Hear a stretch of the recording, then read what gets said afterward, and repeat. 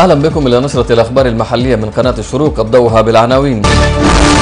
اتحاد العلماء يدعو إلى تجنب خطاب الكراهية وانعكاساته على المشهد السياسي بالبلاد. ووضية العون الإنساني تناشد المنظمات بالتدخل لمقابلة حاجة العائدين بجنوب كردفان. ولاية كسلة تفتتح عددا من المرافق التعليمية بتكلفة 6 ملايين جنيه.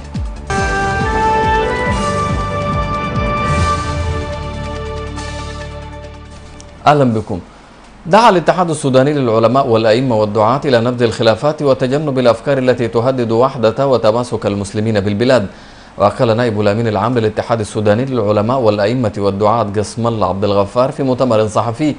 إن الاتحاد أنشئ حديثا لتوحيد كلمة أهل القبلة ومحاربة خطاب الكراهية وانعكاساته على المشهد السياسي بالبلاد. وأشار إلى أهمية توجيه الأئمة والدعاة وتمكينهم لنشر الدعوة ورسالة التوحيد. وقال ان الخلافات في الفروع لا يفسد للود قضية.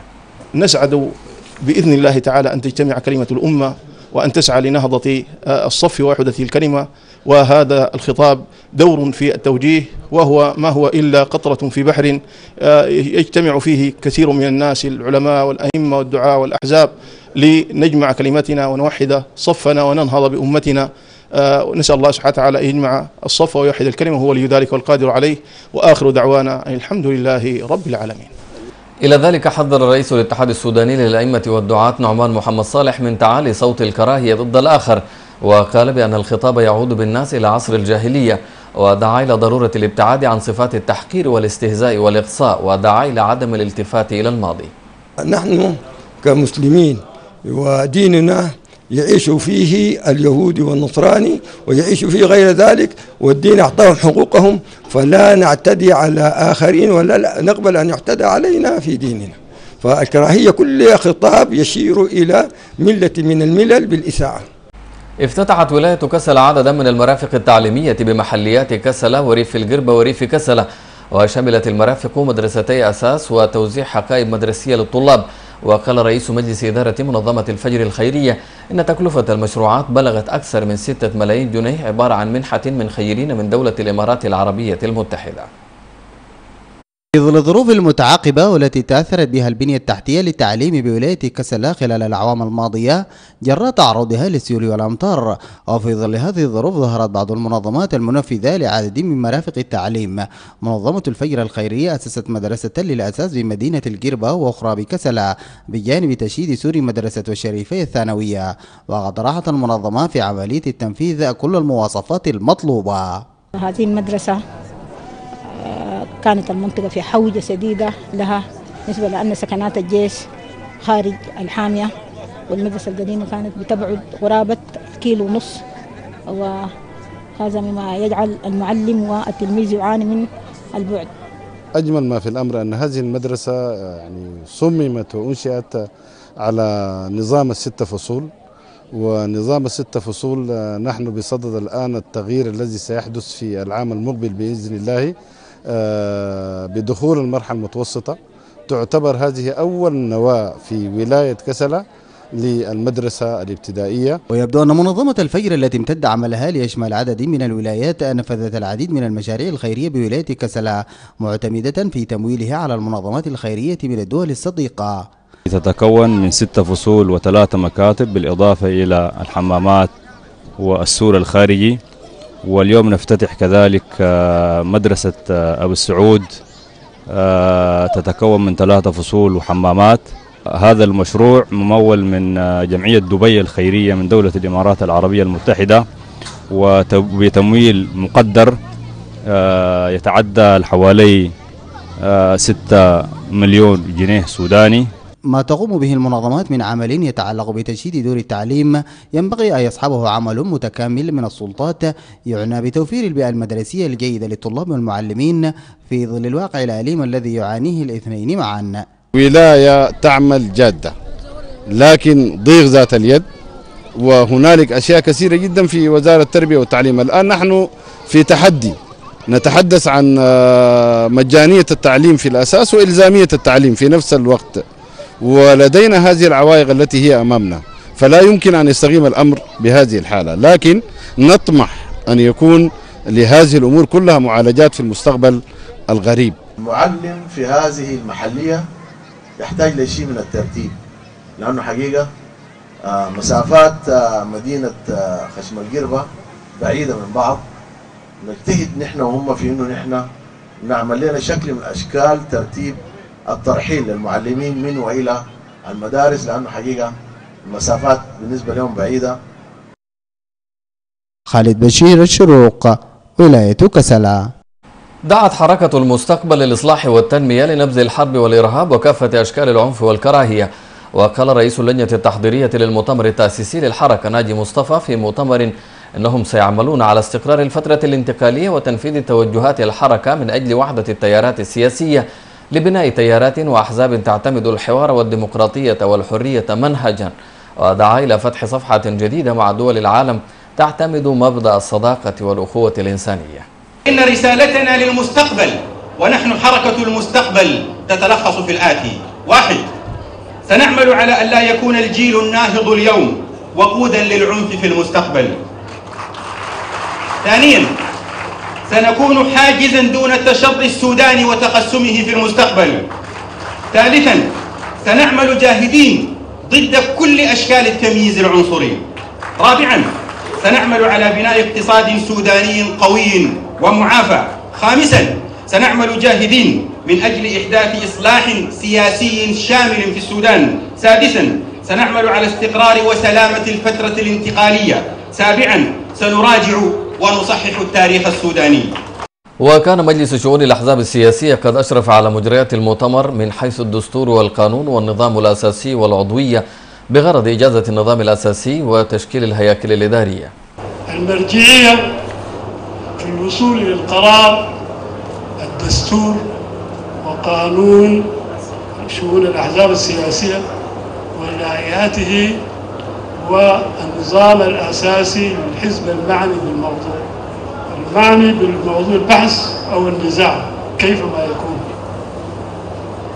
قرارات المجلس مع حيثيات توزع على الأطراف المعنية بالأمر تساعدهم للطعن أمام المحاكم.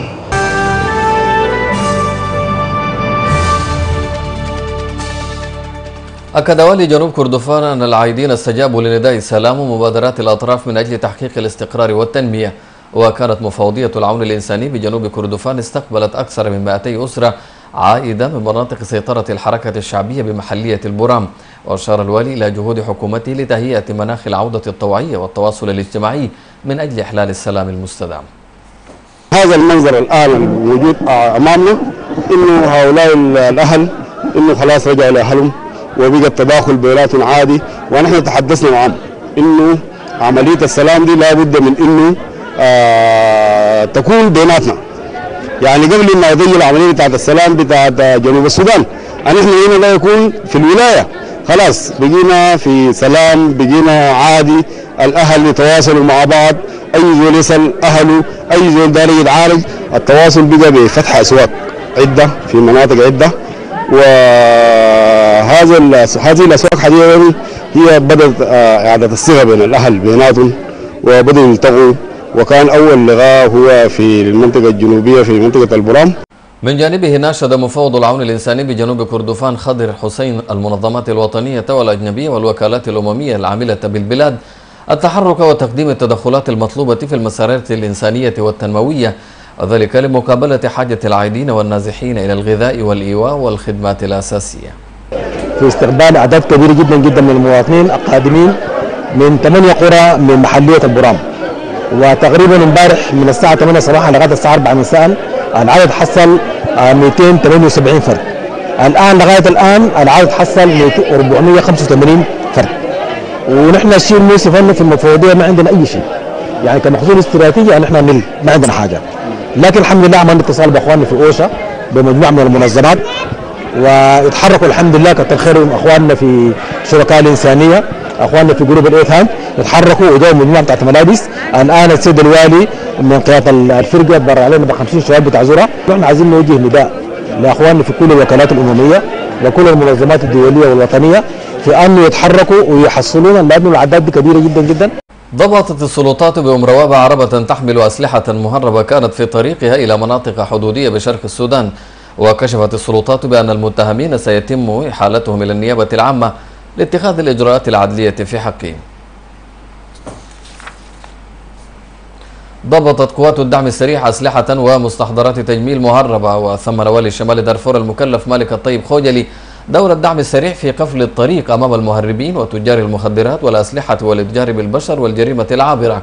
ووجه الوالي بمواصلة حملات ضبط الأسلحة غير المقننة والمخدرات ومكافحة الجريمة وشدد على إنزال أقصى العقوبات على تجار السلاح وحسم ظاهرة تجار تجارة مستحضرات التجميل. هو عمل وطني كبير يصب في متطلبات الفترة الانتقالية الحالية التي يعني آه، تحقق السلام والعدالة والحرية والطمأنينة للجميع.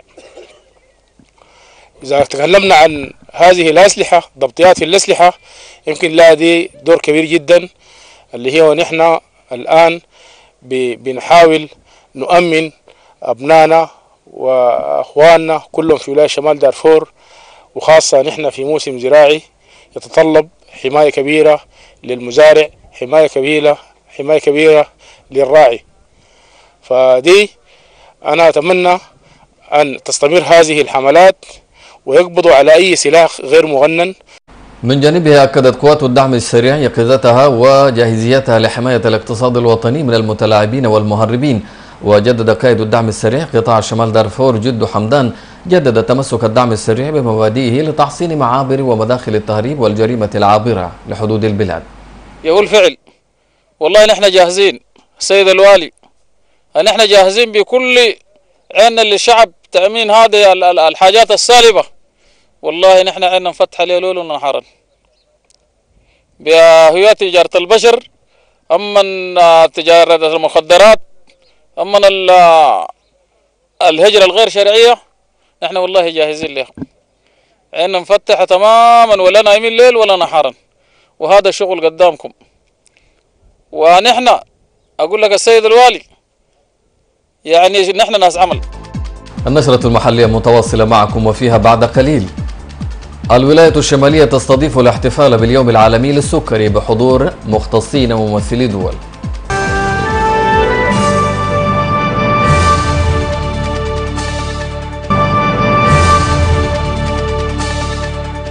أهلا بكم من جديد في النشرة المحلية ولكن عقب الفاصل.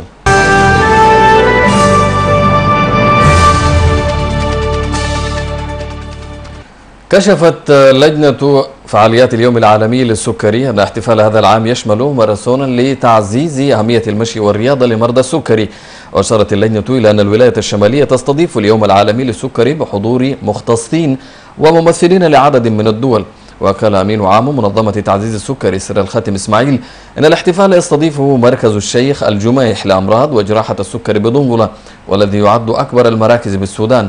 وأشار إلى خطورة نسب الإصابة بالمرض بالشمالية.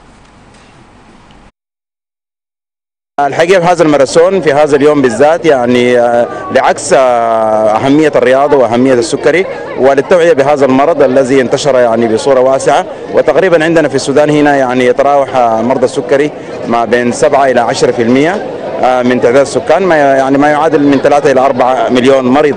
وهذا المرض في تزايد ونحن في هذا اليوم نعكس للمواطنين الكرام وبهذه بأهمية هذا المرض وأهمية الوقاية من هذا المرض بممارسة الرياضة والأكل الصحي والتوعية بهذا المرض. وزعت منظمة أبناء عروس الرمال للتنمية والتدريب بشمال كردفان أكثر من 12 ألف كتاب مدرسي لعدد 16 مدرسة أساس وثانوي بالولاية بمبلغ يتجاوز الاثنين مليون جنيه. وقال والي شمال كردفان المكلف الصادق الطيب أن أبناء الولاية ظلوا يدعمون جميع برامج نهضة وتنمية شمال كردفان وأشار إلى التدخلات التي تقوم بها منظمات المجتمع المدني في شتى المجالات من أجل خدمة إنسان الولاية. بإذن الله تعالى نحن في حكومة الولاية الوصول بالتعليم لعهده السابق. أن نصل إلى مجانية التعليم. أن نصل إلى تأسيس التعليم على الأسس التي تربي النشء إلى ما نصبو إليه لخدمة هذا البلد الطيب المعطاء. الشكر لكم إخوتي في منظمة عروس الرمال. أن أرى مثل هذه الأفعال التي يقوم بها المجتمع المجتمع من أبناء الأبيض الاجتماع من أبناء ولاية شمال كردفان قاطبة سواء كان داخل الولاية أو داخل القطر أو خارج القطر الحقيقة كل الناس قلبهم على ال على, ال على الولاية. كل الناس قلبهم على المواطنين. من جانبه حيا مدير عام وزارة التربية والتوجيه عبد الواحد حمد النيل دور أبناء شمال كردفان بالداخل والخارج وأشار إلى أن توزيع الكتاب المدرسي يعزز من جهود تطوير التعليم ويسهم كثيرا في سد النقص وأكد استقرار العام الدراسي بالولاية. هذه المرحلة آه، الكتب التي ستوزع غاربت تكلفتها الاثنين مليار و340 ألف جنيه وهي المرحلة الأولى. سننطلق إن شاء الله في المرحلة الثانية لتغطية بقية المدارس ومن ثم الانتقال إلى بقية مدن الولاية حتى تنتشر آه، المساعدات المقدمة من المنظمة. وفي ختام النشرة المحلية إليكم تذكيرا بالعناوين. اتحاد العلماء يدعو إلى تجنب خطاب الكراهية وانعكاساته على المشهد السياسي بالبلاد. فوضية العون الإنساني تناشد المنظمات بالتدخل لمقابلة حاجة العائدين بجنوب كردفان. ولاية كسل تفتتح عددا من المرافق التعليمية بتكلفة بلغت 6 ملايين جنيه. نهاية النشرة المحلية للمزيد من المعلومات والأخبار يمكنكم زيارة موقع الشروق دوت نت إلى اللقاء.